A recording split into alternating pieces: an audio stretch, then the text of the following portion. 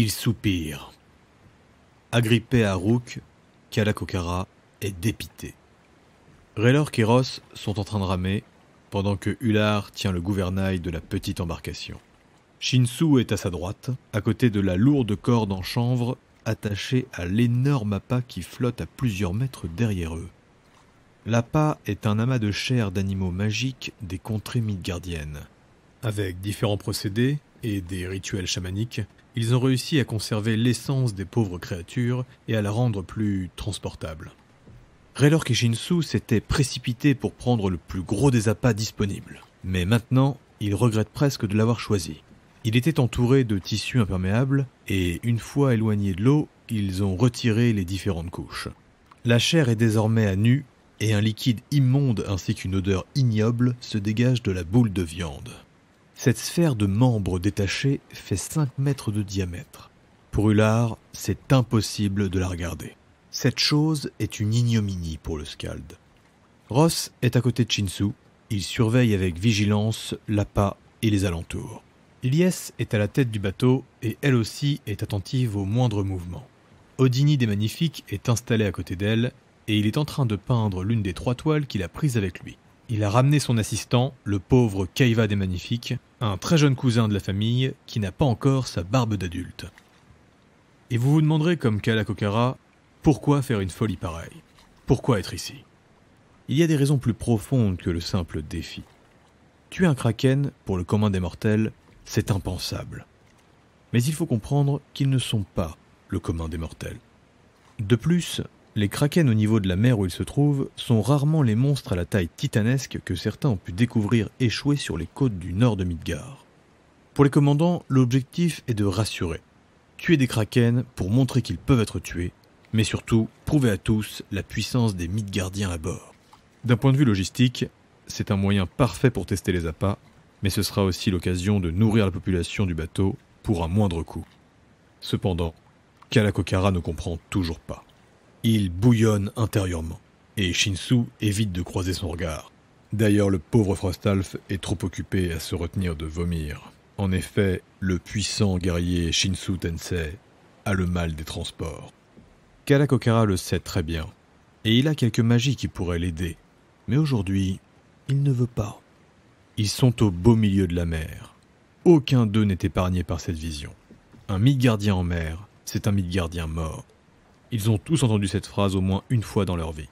Ars, la femme de Ross, lui a même dit alors qu'il embarquait. Ross n'a rien répondu et a embrassé sa fille avant de rejoindre son groupe. Ilyes et lui ont déjà quelques trajets en bateau à leur actif. Ils ont participé à l'une des campagnes militaires contre Albion. Pour tous les autres, c'est pour ainsi dire une première en haute mer. Avec ses jambes, Kalakokara n'est pas capable de nager. Mais heureusement pour lui, Rook nage très bien. De son côté, Shinsu a grandi dans les marais. Il a donc quelques notions en natation. Raylork, lui, c'était un entraînement comme les autres durant sa formation avec le maître du tonneau. Pour Ular, en tant que scald, il a été forcé à savoir nager et naviguer. L'un de ses maîtres était très à cheval sur la navigation fluviale comme principal transport d'informations. Mais le beau blond n'est qu'un marin d'eau douce. Ils ne sont donc pas si mal lotis pour des gardiens, même si la pleine mer, ça reste effrayant. Ular vérifie sa boussole pour la cinquième fois consécutive et regarde derrière pour essayer de repérer la fumée du Léviathan à l'horizon. Ross et Raylork continuent de ramer, ils ont une force incroyable et la petite embarcation avance à une vitesse folle. Puis une vague, plus grosse que les autres, manque de les renverser. Levez les rames, messieurs leur ordonne Ular avec sa voix chantante. Shinsu garde les yeux braqués sur l'appât. Tous s'immobilisent et un silence pesant tombe sur le petit équipage. Lentement, Odini sort une toile vierge et déglutit. Ilyes se penche doucement pour voir dans l'eau. Shinsu, laissez plus de mots. Le Frostalf s'exécute. La tension monte d'un cran quand Ilyes sort céleste de son dos. J'ai. J'ai vu quelque chose. Raylork sort deux de ses épées. Sa respiration se fait plus forte et ses failles s'illuminent. Shinsu dégaine la dévoreuse. Ross encoche une flèche alors que ses yeux perçants remarquent une différence de teinte dans l'eau au niveau de l'appât. Il y a quelque chose en dessous. Ils sont seuls au milieu de ce bleu profond. perdus dans l'immensité d'un océan inhospitalier. Ils attendent, immobiles, silencieux, suspendus dans le temps. Ils sont désormais tous les yeux rivés sur l'appât. Un mouvement dans l'eau, et le globe de chair disparaît, happé. Shitsu, coupe la corde D'un coup aussi puissant que rapide, le Frostalf tranche le cordage, et le reste de la corde se précipite sous l'eau. Puis plus rien. Ular a ses deux boucliers devant lui, et il commence à murmurer un chant. L'onde magique les parcourt, solidifiant leur volonté et les rendant magiquement plus alertes. Odini est prêt, bien que tremblant. Son assistant est livide, presque blanc. Kalakokara psalmodie une incantation et pose ses mains sur Rook. Toujours rien. Raylork se retourne vers le groupe. Euh, je piche pas trop là. La force de flottaison était censée le remonter, non? Toujours concentré en direction de la masse sombre, Ross lui répond. En principe, il remonte avec ou il le lâche. Mais quelque chose devrait remonter. Propulsé par la pression, l'appât réapparaît. Puis d'immenses tentacules verdâtres s'élèvent au-dessus de lui. Deux d'entre elles se lovent autour, tandis que trois autres se répandent à la surface de l'eau. Elles sont énormes. Deux mètres de large. Quant à la longueur, impossible de savoir. Une masse difforme apparaît dans cet amas tentaculaire de peau flottante. Une tête s'étire, elle les dépasse déjà de plusieurs mètres. Le groupe, bien que stupéfait, reste inébranlable. Le kraken a maintenant l'appât sur son ventre mou, et il commence à le dévorer. Pendant qu'il le déchiquette en lambeaux, son regard est fixé avec intérêt sur la petite barque. Les yeux du kraken sont minuscules pour sa taille, mais ils rayonnent d'une magie puissante. Une magie à faire chavirer les plus faibles. Le monstre est comme un petit îlot flasque. D'autres tentacules sortent de l'eau. L'une d'elles approche doucement en direction de l'embarcation. Ross, le vieux chasseur, leur avait expliqué la tactique. Toujours attendre avant d'attaquer. Il faut essayer de comprendre l'animal que l'on chasse avant d'agir. Les kraken sont connus pour leur puissante magie, et c'est d'ailleurs pour ça que des fous partent à leur recherche et disparaissent en mer. Toute l'équipe est prête, et au moment où... Odini est pris d'une peur panique, et le groupe se retourne, plus perplexe que surpris. Shinsu ne peut s'empêcher de sourire. Ils se sont entraînés avec méthode durant les trois jours qui ont suivi l'annonce de la grande chasse. C'est donc sans un mot, avant que la créature ne termine ce repas, Kular Valoem sang de dragon commence son incantation. Brouillant l'air et la réalité, il peint dans le vide pour créer une illusion. Il forme un kraken presque similaire à celui qu'ils ont en face d'eux. Et il va cacher l'embarcation à l'intérieur de sa création. L'idée est de faire croire à la créature que les attaques et la magie qu'ils vont déverser viennent du simulacre qu'il a créé. Mais les yeux du kraken se mettent à briller. Et Ular, Shinsu et Raylork comprennent que le monstre peut voir à travers la magie. Il a percé mon illusion Ular hurle l'information, tandis que Raylork lève ses deux armes en l'air et les croise. Il est debout, sur le bateau. Il fait face à la bête. Comme de nombreux Elaxa, il a la capacité d'emmagasiner des sorts dans son corps, pour les relâcher en temps voulu. Il a infusé en lui deux sorts destructeurs, une magie de foudre. Décroisant ses épées et les pointant vers sa cible, il les rejette en hurlant. Shinsu lève son cache-œil, dévoilant une pupille reptilienne qui gigote comme si elle avait sa propre volonté. Il inspire profondément et sort de sa poche une patte d'araignée qu'il croque nonchalamment. Ilyes est derrière le reste du groupe. Elle place son épée devant son visage et parle à voix basse à Céleste. L'épée commence à briller de la magie dorée des Valkyries, mais aussi d'une aura argentée scintillante. Avec une vitesse stupéfiante, Ross enchaîne plusieurs tirs sur la face du kraken. Et le monstre, d'un clignement de l'œil, invoque une protection magique qui va dévier les projectiles. Certains arriveront cependant à toucher le reste du corps. Les flèches de Ross sont en métal et elles crépitent d'électricité, renvoyant ainsi d'une flèche à l'autre la foudre que Raylork a invoquée. Cinq tentacules fondent sur l'embarcation. Un bouclier magique créé par Kalakokara en stoppe une. Ular fait un geste avec son bouclier épais et dévie la trajectoire de la deuxième. Raylork en coupe une autre. Puis Shinsu tranche la quatrième. Et enfin, Ilyes s'élance et repousse la dernière. À chaque fois qu'une tentacule est coupée, un jet d'acide jaillit, arrosant l'embarcation et brûlant chacun d'eux. Un souffle de magie se répand de Kalakokara, alors qu'il vient de descendre maladroitement de Rook. Et une sensation de bien-être éteint les brûlures sur les membres du groupe. Raylork fait un pas de recul et Ilyes passe devant. Ross, Shinsu, maintenant Raylork est en train de faire des mouvements avec ses deux épées, il réinvoque la foudre. Ross, lui, s'élance en avant. Shinsu, je prends la gauche. Ross bande son arc et tire dans les airs. Il se change en foudre et décolle à plusieurs mètres. Alors qu'il retombe avec une vivacité surnaturelle, il encoche et tire une flèche sur le kraken. Puis rebande son arc sans projectile et relâche la corde, se changeant à nouveau en un trait de foudre. Il va enchaîner cette technique et tourner frénétiquement autour du monstre qui essaye de le suivre du regard. Shinsu tranche une dernière tentacule, puis saute sur la créature. La magie de la patte d'araignée qu'il vient de manger fait adhérer ses pas sur la chair molle. La vision est incroyable. Le Frostalf, la dévoreuse à la main, court sur la créature qui fait jaillir des jets d'acide sur son corps. L'habile guerrier esquive les geysers mortels et continue sa progression. Une, deux, trois, quatre. Ilyes enchaîne les parades avec Céleste. Les tentacules sont massives et pourtant la Valkyrie les dévie. Elle est inébranlable. Avec une voix qui devient rauque, Ular chante un chant draconique et du sang commence à couler de sa bouche. Kalakokara comprend que c'est une magie à double tranchant. Il prépare un sort de soin pour le pauvre Scald qui déglutit du sang. Un froid brûlant passe à travers le corps de son groupe et la magie des dragons commence à vibrer dans leurs âmes.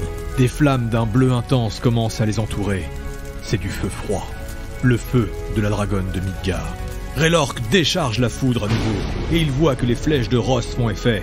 Les ricochets d'électricité sont de plus en plus épais. Le corps du kraken est brûlé de toutes parts. Odinide est magnifique et dans une frénésie artistique. Comme possédé, il peint la scène avec les yeux presque sortis de leur orbite. Le kraken hurle une décharge de magie, mais au même moment, un autre rugissement se fait entendre pour contrer le son. Ular Valoem, sang de dragon, la mâchoire presque transformée, vient de contrer la magie du kraken avec celle des dragons.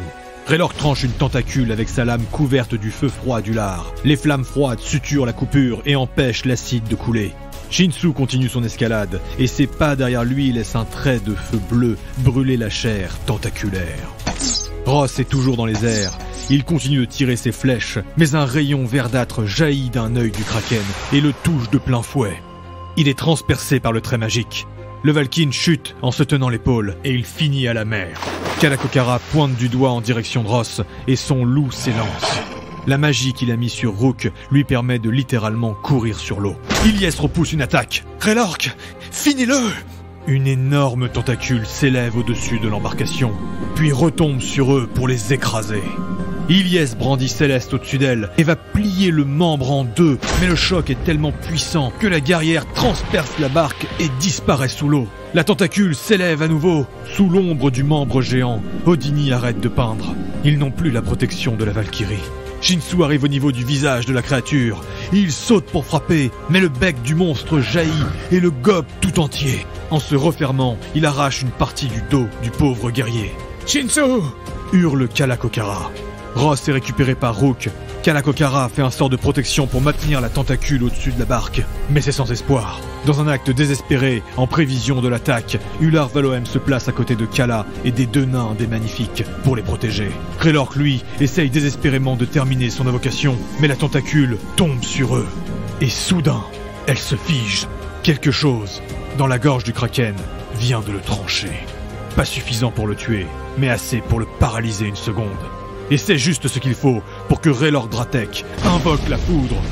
Il hurle, passant en rage, et relâche toute sa colère sur le kraken. Ross avait eu le temps de planter toutes ses flèches autour de l'animal. Le monstre va avoir de nombreux spasmes. Des jets d'acide vont sortir de chaque orifice, et Shinsu, à l'intérieur de la gorge puante, va sentir une remontée gastrique arriver. Une vague d'acide remonte sur lui. D'un mouvement martial impeccable, il tranche à nouveau et crée une ouverture au niveau de la gorge. Tel un nouveau-né s'extirpant de sa mère, il jaillit in extremis avant que l'énorme jet d'acide n'arrive à sa hauteur.